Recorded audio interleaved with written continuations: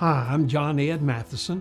We're, we're living through some times where there are extremely strained relationships between the races. Let me tell you about Governor George Wallace. You remember he became the paragon of segregation when he stood in the schoolhouse door in Tuscaloosa and said, Segregation today, segregation tomorrow, segregation forever. Well, later on in his life, he had a change of heart.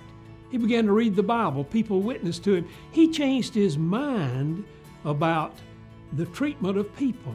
And he also became concerned about whether God would forgive him and whether black people would forgive him. He worried about that. Later in his life, he started watching our worship services on television. He did that so he could hear. He had a hearing impairment and he would turn up the TV real loud. He called me multiple times to come visit with him. And he said, Will God forgive me? Will black people forgive me? And then he showed me a letter from the Pope and one from Billy Graham where they tried to tell him that God could forgive him, but he wasn't convinced.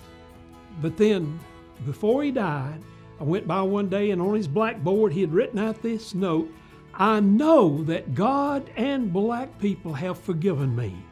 I really know it.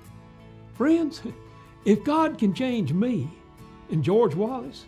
He can change anybody, anytime, anywhere. And I believe that.